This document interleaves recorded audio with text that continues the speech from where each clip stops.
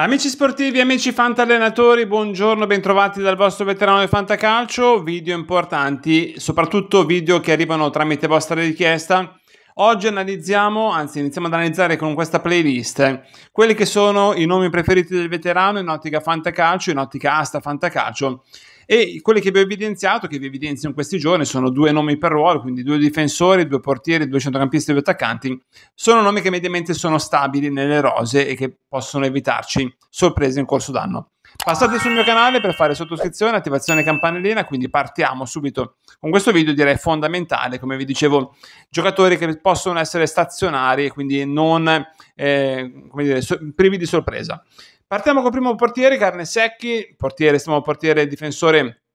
dell'Atalanta che di fatto ha titolarità vista la partenza di Musso e l'arrivo di Rui Patrizio come secondo. Quindi buona sicurezza per il giovane giocatore atalantino. Carne Secchi l'anno scorso ha fatto direi molto bene. Qui vedete le sue medie voto fantamedia voto. Mi interessa esprimervi quello che è il flusso l'andamento dell'Atalanta come gol subiti negli ultimi tre anni tre anni fa 48 gol subiti, due anni fa 48 gol subiti, l'anno scorso 42 gol subiti, carne secca si paga circa il 7%, quindi un prezzo sostenibile per una difesa che comunque prende mediamente abbastanza pochi gol, chiaramente non imperforabile, ma una difesa comunque molto solida che può essere pagata al giusto prezzo se vogliamo risparmiare qualche creditino sulla spesa, ma Carnesecchi è un giocatore molto bravo, soprattutto per i modificatori di difesa, ha una media voto sempre molto alta, quindi 6-19 l'anno scorso, migliorabile quest'anno.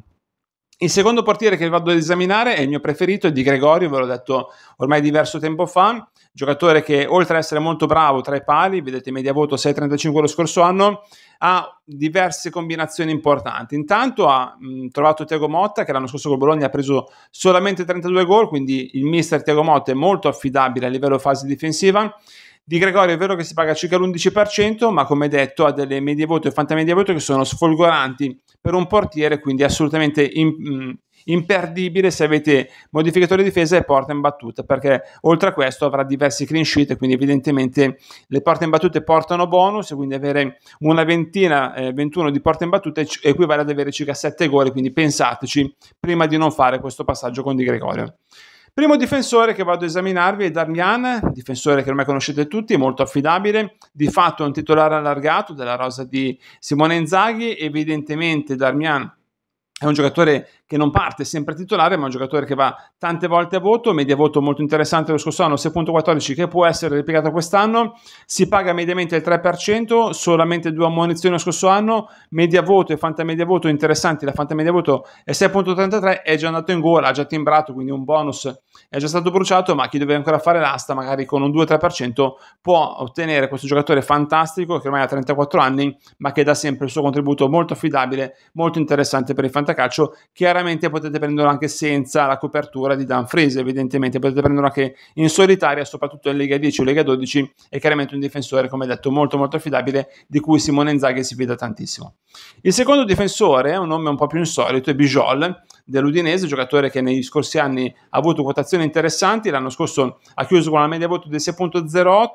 con pochissima munizione, solamente 4, quest'anno si paga circa l'1,5% e quindi un prezzo abbastanza incre- dire, sostenibile per lui. Vi ricordo che questi PMA, questi prezzi mediast, sono presi da Fantalab, che ringrazio ancora una volta pubblicamente, e che vanno a occupare più di 10.000 aste, quindi campione molto affidabile. E Bijol sicuramente anche con l'arrivo di Runaic, evidentemente un difensore molto affidabile per i modificatori di difesa e si prende un prezzo basso, quindi un perfetto quarto slot in Lega 10, quindi per questo motivo ve lo vado a esaminare, ve lo vado a inserire soprattutto per la sua titolarità e per questo motivo evidentemente ci può dare un grande supporto a fantacalcio e quindi non escludiamo un giocatore come Bijol, un giocatore sloveno che è nel pieno della maturità calcistica 25 anni nelle nostre rose di fantacalcio.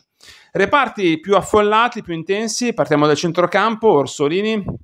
giocatore anche lui come Bijol nel pieno della maturità calcistica, 27 anni, Orsolini è passato alcuni anni un po' eh, altalenanti, poi ha preso la via dritta, quindi sono davvero molto contento, il prezzo medio in asta è un centrocampista, si paga circa il 10%, Fanta media voto l'anno scorso 7.06, quindi molto alto, oltre il 7, la media voto 6.16 è abbastanza stabile, 10 gol, 2 assist, solamente 2 ammonizioni, e questo è interessante perché Orso è sempre stato abbastanza, abbastanza un, eh, come dire, uno spugnizzo, quindi evidentemente in campo il suo l'ha sempre fatto. la Fanta media voto tese per quest'anno è 7.27, quindi in crescita e quindi un 10% per di fatto una terza punta nel vostro scacchiere, ma eh, listato centrocampista è un sacrificio che va fatto, magari anche in coppia con un altro bel top di centrocampo tipo Dennis Ma, ma chiaramente Orsolini è uno di quei giocatori, essendo anche rigorista, che vanno assolutamente presi come grande affidabilità e quindi ve lo consiglio vivamente. Il secondo, il secondo centrocampista invece che vi, con, che vi, consiglio è un giovanissimo che tanti di voi hanno già conosciuto, tanti di voi conoscevano già prima di queste prime giornate di campionato in Serie A perché Nico Paz è sicuramente un giocatore eh, conosciuto ai più, a più attenti, ma chi non lo conosce l'ho potuto già ammirare, giovanissimo, ha solamente 19 anni, prezzo medio in asta circa l'1% e quindi un prezzo ancora molto molto sostenibile è un giocatore che nel Real Madrid Castiglia ha fatto 35 presenze, 9 gol, ma soprattutto ha dimostrato, nonostante 19 anni, grandi lampi di classe. Si prende a un prezzo bassissimo, l'1%, ma soprattutto per chi fa i contratti pluriennali, quindi giovanili, under, primavera, biennali, triennali, è un giocatore da girare con il cicoletto rosso, come diceva Rino Tommasi, per cercare di portarselo a casa. Giocatore argentino, chiaramente Fabregas uno che ne capisce di calcio, valuteremo poi anche Perrone, perché anche qua abbiamo del materiale calcistico davvero molto interessante, quindi Nico Paz va preso già al fantacalcio, già quest'anno chiaramente settimo, ottavo slot. Primo attaccante, Charles de Ketteler, vedete qua la sua headmap abbastanza clamorosa perché copre tantissime zone di campo, un giocatore molto intelligente dal punto di vista del fosforo. Mi piace tantissimo, de Ketteler non l'ho mai nascosto, è un giocatore che in mano a Gasp è stato formato, ha solamente 23 anni, PMA prezzo medio asta è circa 10-11%, quindi è vero che è abbastanza caro, ma comunque va preso, è un attaccante. Eh, l'anno scorso è stato influenzato il prezzo perché chiaramente l'anno scorso era centrocampista, oggi attaccante. Un, diciamo così, suo alter ego, diciamo un Lukman, perché più o meno ha portato i stessi bonus, si paga circa il doppio, il 20%, quindi De Keter è ancora un bel prezzo a fare. Quindi l'anno scorso ha fatto 10 gol, 8 assist, insomma quasi una doppia doppia, quest'anno potrebbe ripeterla. Davanti l'Atalanta è rimasta un po' scarica perché con l'infortunio di Scamacca e con la eh, situazione di Zanello che non è al massimo, non è ottimale, De Keter ha chiamato un po' gli straordinari e quindi portiamocelo a casa, il prezzo è davvero invitante, perfetto terzo slot in Lega 10 ma anche in Lega 12. Ultimo attaccante, ultimo giocatore che analizziamo è Taremi, giocatore che adoro, prezzo medio in asta bassissimo, non so perché, 6%, di fatto lui è un titolare allargato, pensate comunque due stagioni fa ha fatto 22 gol e 7 assist, insomma un giocatore abituato ai bonus, un giocatore abituato a segnare a essere eh, assistente per la squadra, un giocatore che chiama in soccorso i suoi compagni, già un assist al suo attivo, evidentemente qua Simone Inzaghi lo chiamerà essere un titolare allargato, avete visto gli impegni che avrà l'Inter in Champions, quindi è inevitabile per il giocatore iraniano essere sempre chiamato in causa, quindi un 6%, ma anche un 10%, anche un doppio di questo valore, quindi 10-12% è un prezzo prezzo assolutamente alla portata nostra perché chiaramente Taremi entra in un meccanismo di squadra dove di fatto abbiamo tanta fase offensiva e l'Inter è abituato a fare questo. Chiaramente Taremi è la prima scelta dopo Martinez e Turam, ma evidentemente se uno dei due sta male o comunque in, viene chiamato in rotazione sempre dopo i 60 minuti, chiaramente Taremi va schierato sempre e comunque. Tutto questo lo trovate, diciamo, le statistiche su Fantalab